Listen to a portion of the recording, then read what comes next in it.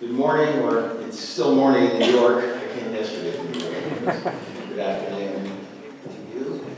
Uh, It's really a great pleasure to be back in Kőszeg with my colleague, Ferenc Miszlivetz. You should know the description he gave of me could apply to him.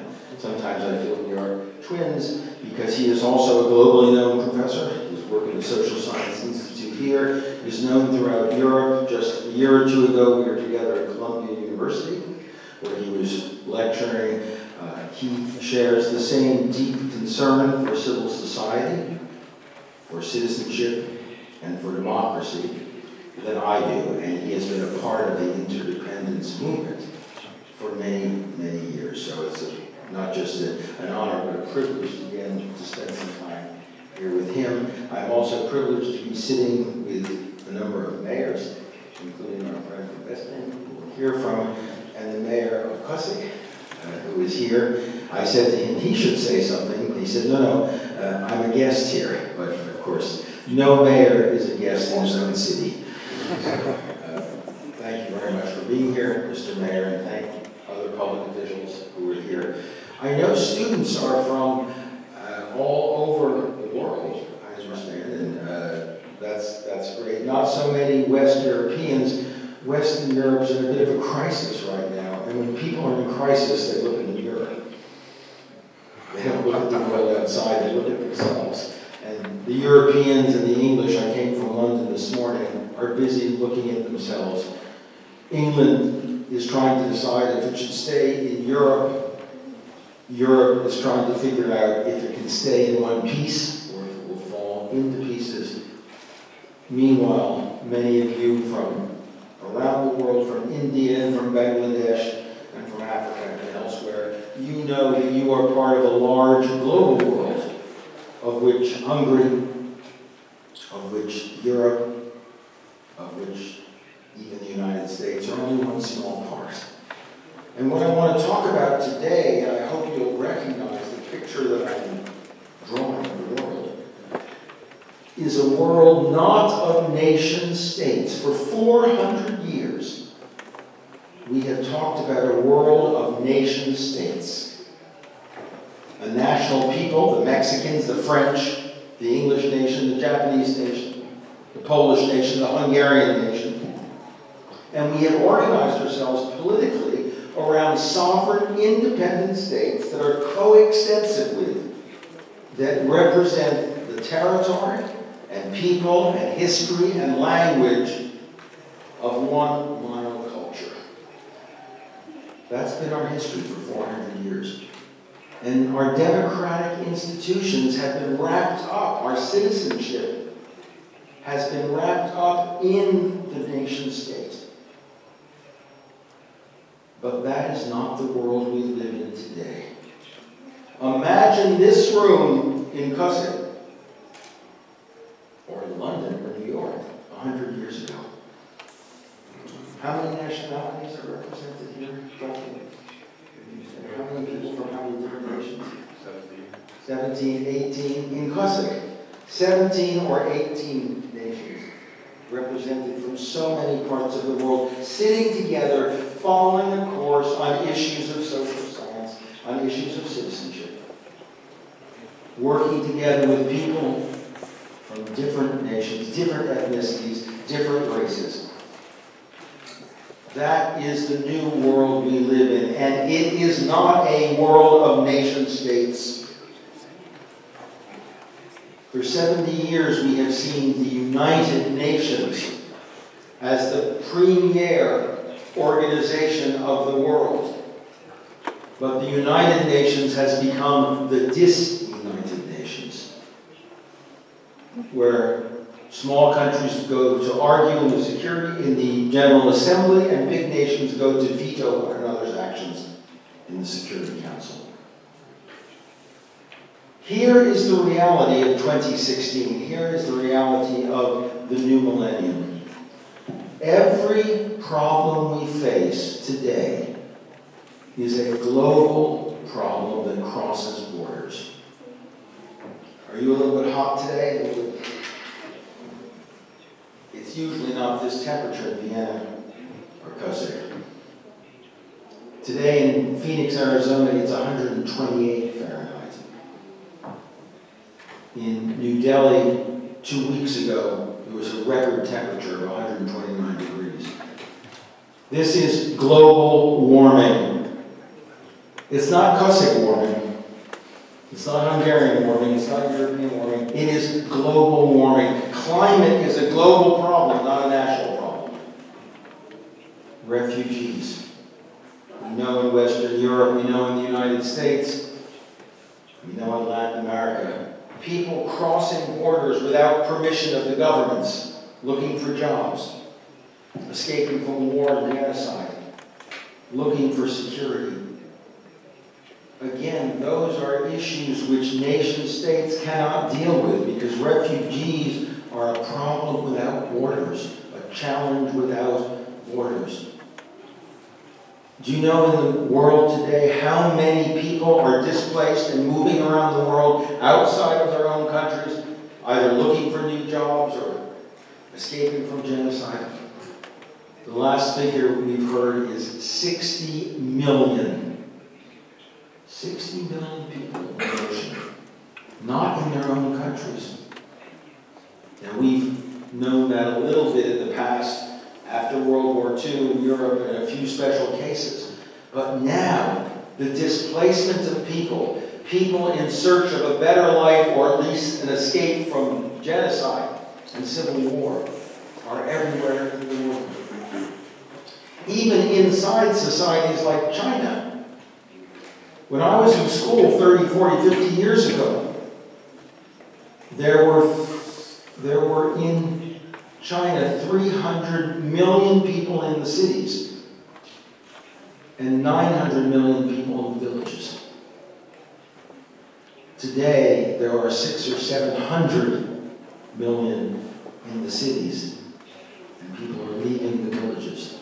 That's another kind of mass migration. People go to the big cities to build the new Chinese cities, and they stay. And then they have nowhere to live because the buildings they build are not for them. So the displacement of people, the movement of people, again, is a global problem. Or take jobs. Take industry. Look at Metz in France. Look at Leicester or Birmingham in England. Look at Detroit, or Cleveland in the United States. Look at some of the old industrial towns in Slovakia and Poland, like Katowice. Their economies are gone, and the jobs have left. And there is not a single thing nation states can do to keep those jobs. When a company decides to move, it moves. United States of America has lost something like 25 to 30 million industrial jobs. The powerful government in Washington can do nothing. If General Electric or General Motors says we are taking our jobs to Mexico or Venezuela or Indonesia or Bangladesh, the government can just say, sorry, nothing I can do. National governments no longer control the economy because we don't have national. We have a global economy. Global markets, global jobs, global companies. When I was a young man, like many Americans, I wanted to drive an American car. Which car do you think I bought in 1956? What's the most American car you can think of? Ford's one. The other? Thank you, Chevrolet. I got myself a Chevrolet. Drove my Chevy to the levee, and the levee was dry. Song? I drove a Chevrolet. Today, I still want to drive an American car because I'm still a patriot, so I drive a BMW. you know why? My BMW is made in South Carolina from 70% American parts, and the Chevrolets I would drive are made in Mexico and Latin America and Canada from 80% foreign parts. So which is the American car? The BMW the Chevrolet? In fact, neither are. There's no such thing as national automobiles anymore. Rolls-Royce is a global company, Porsche is a global company, Chevrolet and Ford are global companies. Because automobiles are part of a global economy. The customer base is global, the manufacturing is global. So climate, manufacturing and jobs and the economy.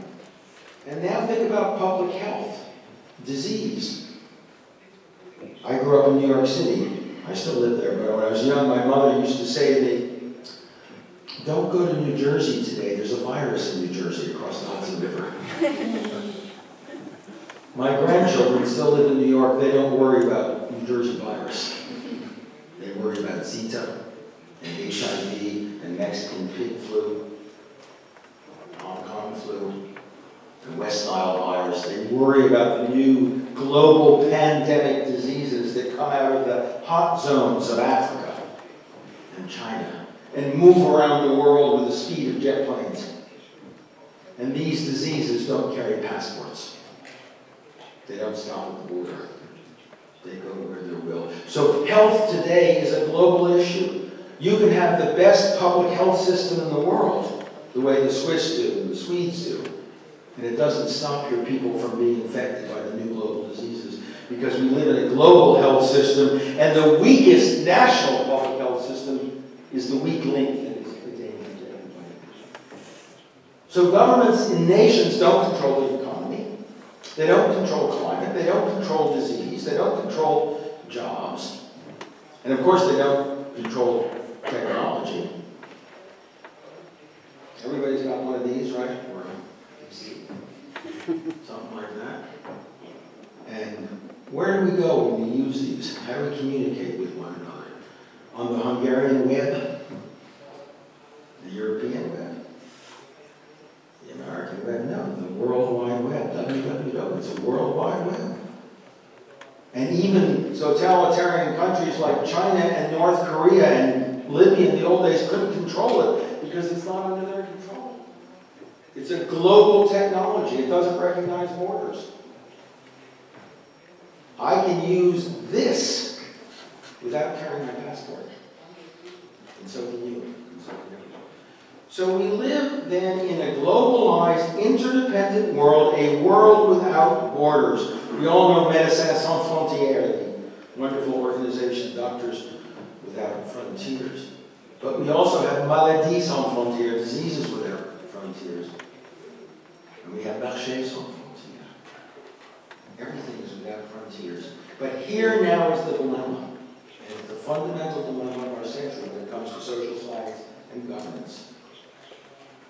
In this new 21st century world, where every challenge we face, from technology to disease, to climate change, to manufacturing, and yes, even to terrorism, because terrorists move around the world where they will. They don't have a national base anymore. That's why you can't invade Iraq and get rid of Al Qaeda. You can't invade Syria and get rid of ISIS because these are global terrorist movements that don't any borders.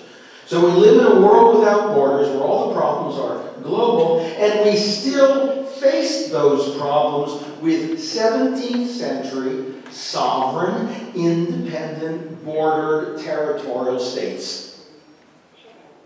You see that dilemma? You see that asymmetry? Global problems, national states. Challenges without borders, solutions with borders. So the solutions don't work.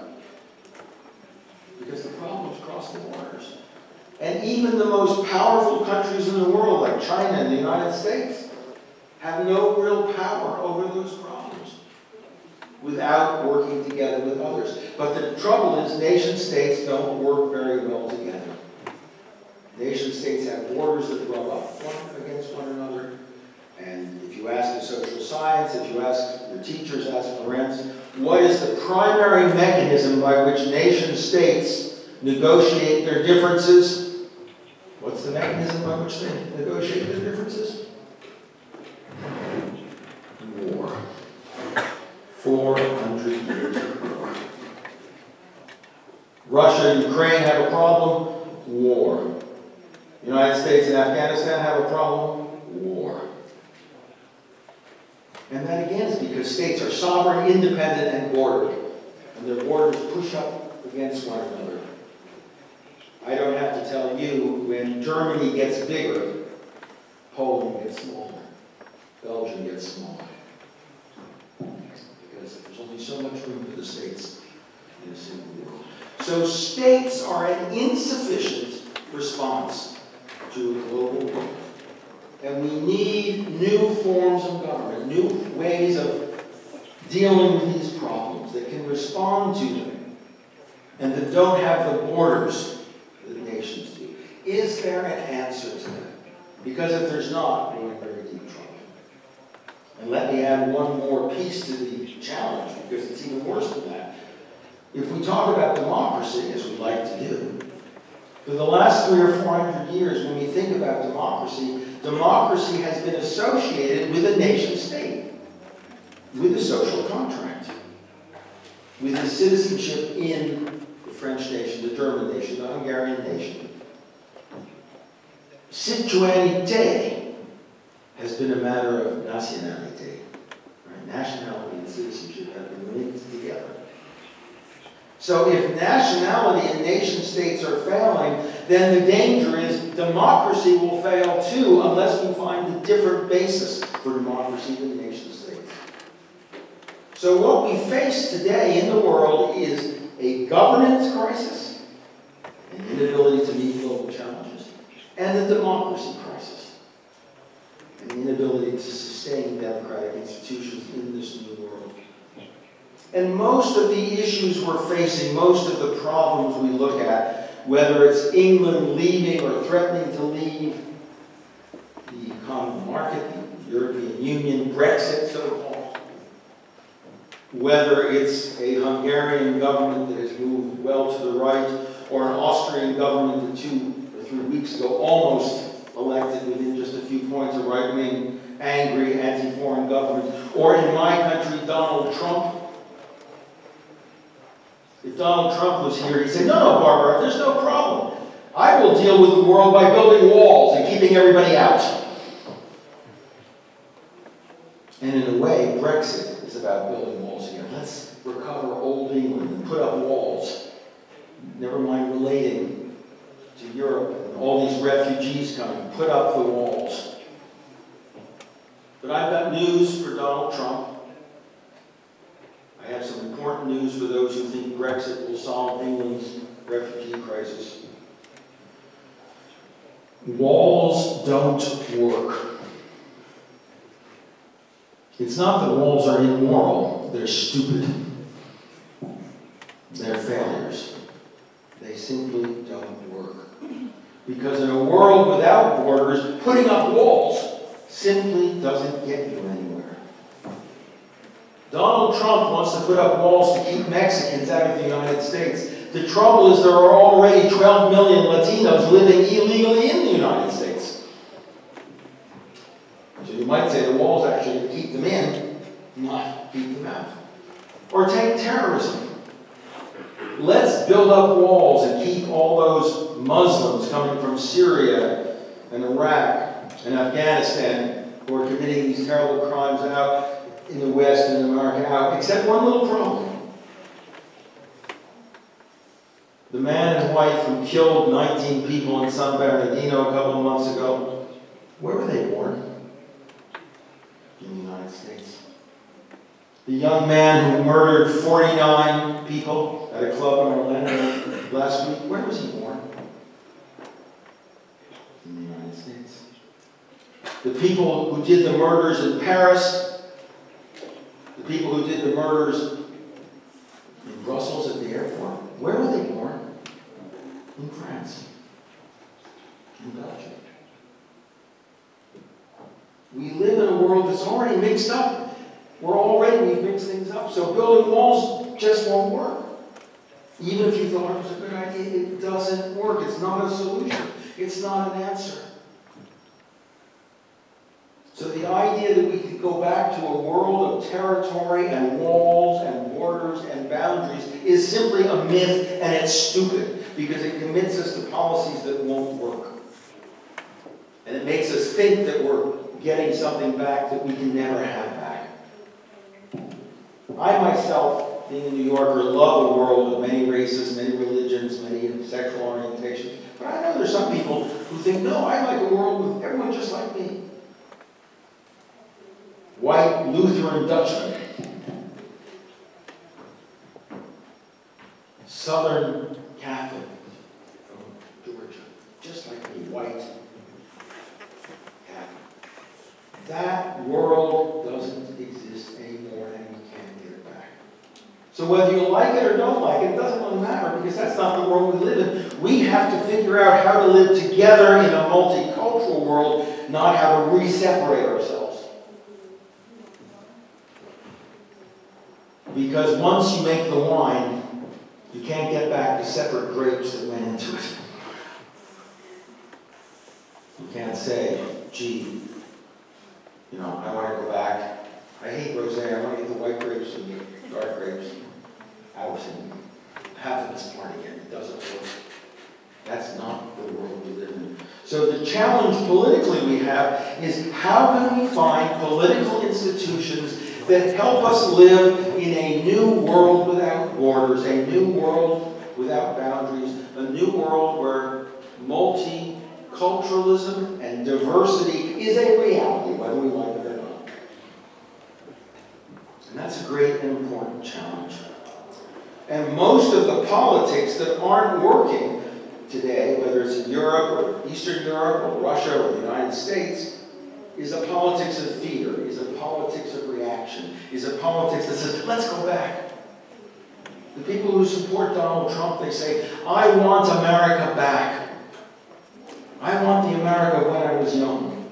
What they mean is an America without Latinos, without Muslims, and an America where African Americans knew their place down there. They want a white America back. It's not coming back. So get used to it and figure out how do we live with it. As I say, some of us prize it and cherish it and think it's a great strength. And whether or not you think it's a strength doesn't matter. You're not going back.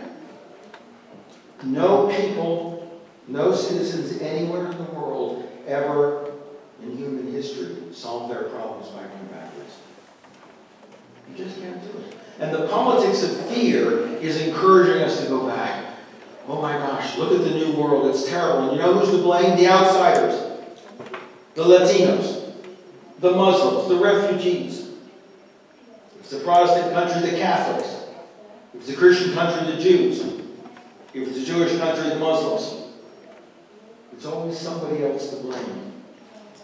But of course, nobody's to blame. The blame is in a reality of a globalized, interdependent world where things are all kind of the economy and the technology have all gotten mixed together, and we have to learn how to live in that world. So I look, and I think you need to look, for new forms of politics that allow us to not just live in this new world, but allow us to seek the advantages and virtues that are associated with the new world. And my simple answer, having set up the problem my simple answers. you want to solve the problem, stop talking about prime ministers and presidents and start talking about mayors. Stop talking about states and nation states and start talking about cities again. Because as social scientists, as, pragmatists, what we know is cities still work. And mayors, whatever's in their hearts, can't be racists. They might be racist in their heart, I don't know, but they can't be oversee cities that are all over the world, deeply multicultural. The first emblem of a city is diversity, it always has been. Athens in the 5th century BC had Persians and Egyptians and Thebans all mixed up because cities are about trade, cities are where people travel to. Cities are about movement. Every city in the world I know is more multicultural than the nation it belongs to. Paris and Marseille are more multicultural than France. Amsterdam and Utrecht and Delft are more multicultural than Holland. Budapest is more multicultural than Hungary. And so is Kőszeg, by the way. That's for some special reasons. For the time, but cities are multicultural. They look like the world. Nation states don't look like the world. France, the French look like France. The world is in France. But London, New York, Tokyo, New Delhi, Rio, Santiago, Chile, they because they have that diversity. They have the economic, their economy is also, no mayor would say, I don't think, that's the mayor's here, but I know no mayor who said, let's have an economy that depends only on our own companies. We want Kőszeg companies. We don't want Renault. We don't want US Steel. We don't want Tata from India. We want a Kőszeg car company. That's not a way Kőszeg's going to get. Mayors understand they live in a global economy and they want into, they want to be a part of the global economy because they understand that's how it works. And no mayor says, don't worry, we're not worried about HIV, SIDA here, we're not worried about Mexican pig virus, we're not worried about West Nile virus here. We have very good hospitals in our town. It Doesn't matter how good the hospitals are. You can't deal with it that way. So mayors start out understanding what the real challenge is. And the challenge is in a globalized, diverse world. And that means there's a very important thing about mayors, and again, we can ask them, we have some here. But mayors must be pragmatists. Their first job is to make the city work. Rather mundane things like picking up the garbage and keeping the sewers flowing and making sure the hospitals are open and keeping public transportation working and having decent schools and making sure that all the citizens can have jobs. Mayors don't control their borders because the nation state does that. So mayors say, we deal with the reality that we have.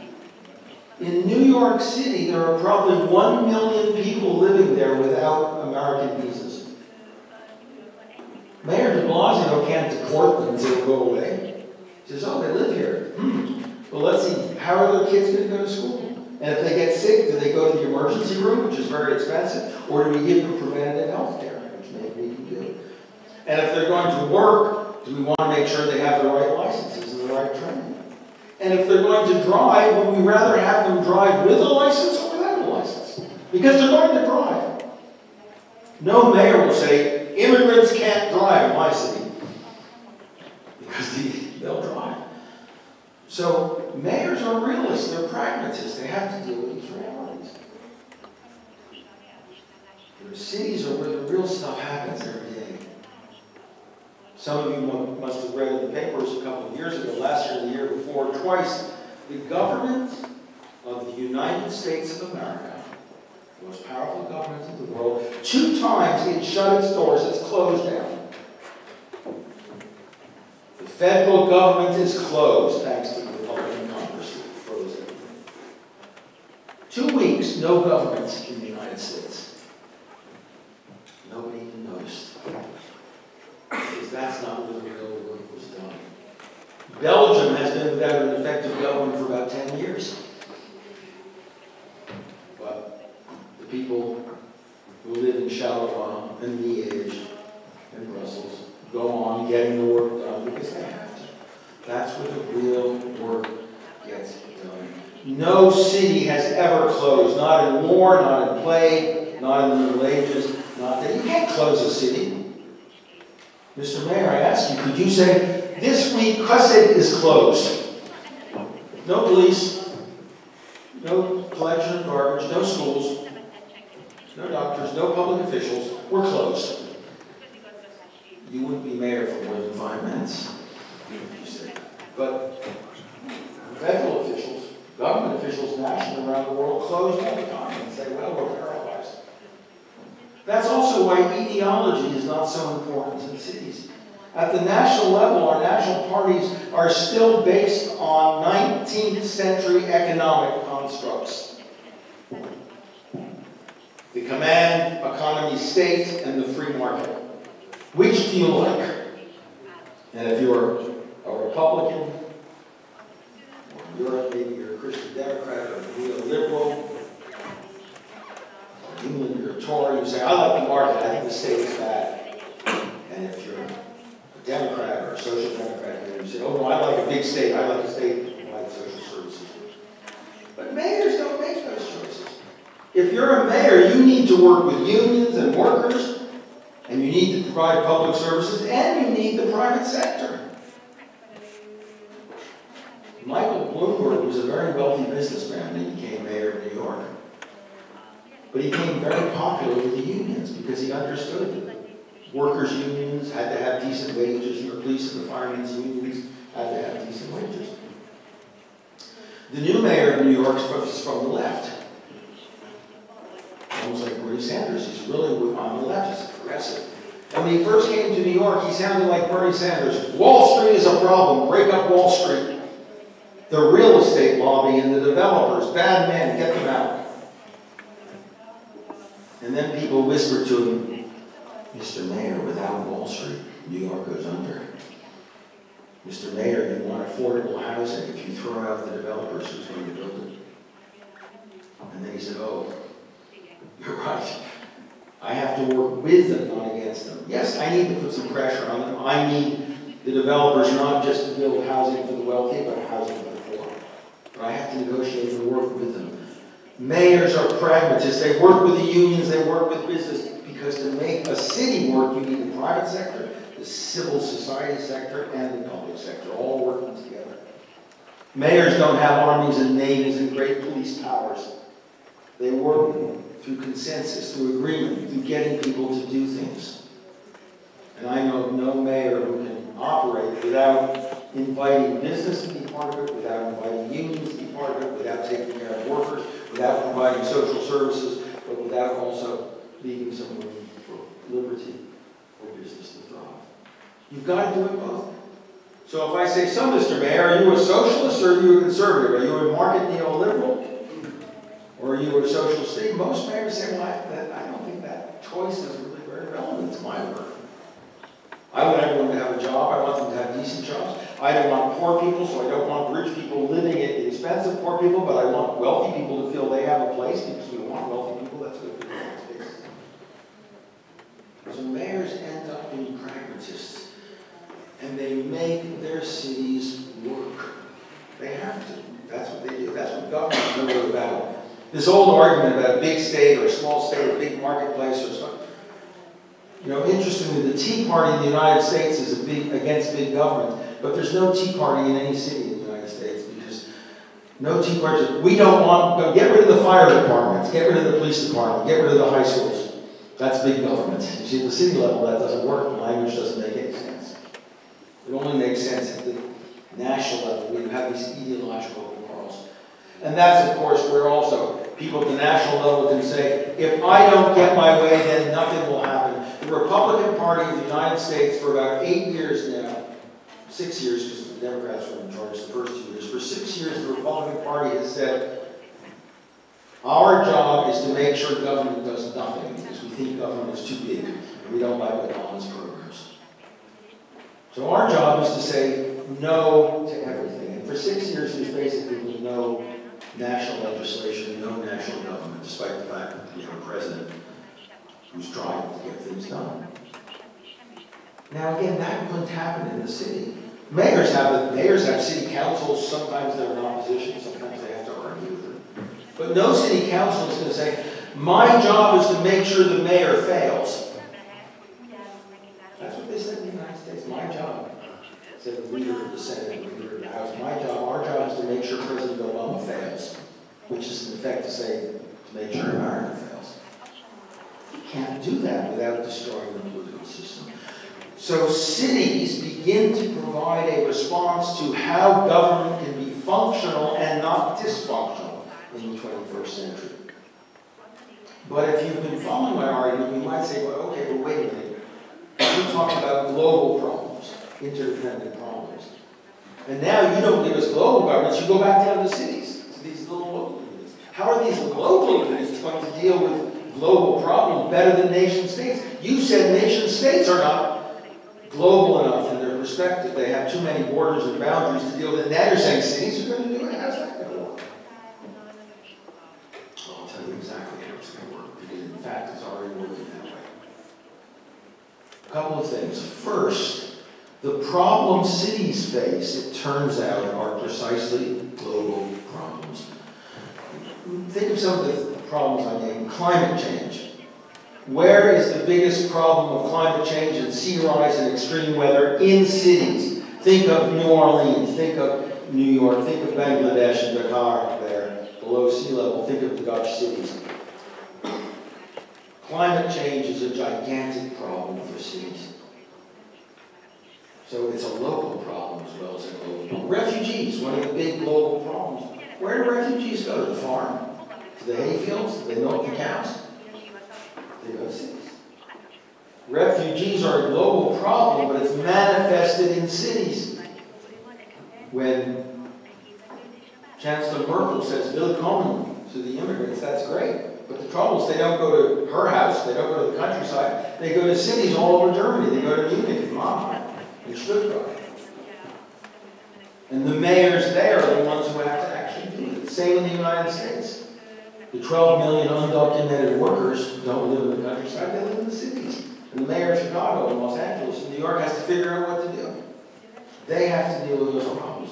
So refugees, again, is a local problem and a global problem. Or take terrorism, which I mentioned earlier.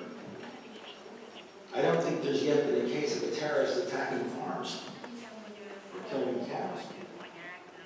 They go with the people, the people in the cities. They go with the cultures, and the cultures in the cities. They go where the parties and the clubs are, and the parties and the clubs are in the cities. Terrorism is a global problem, and specifically an urban problem. Whether it's San Bernardino, or Paris, or Brussels, or Orlando, it's in the cities that we've seen the So it's a mayor's problem. That kind of security is a security problem for cities. We talk about national security today, but actually the better term should be urban security. Because it's city security that really means you. Which is why city police and city intelligence forces are becoming more and more important.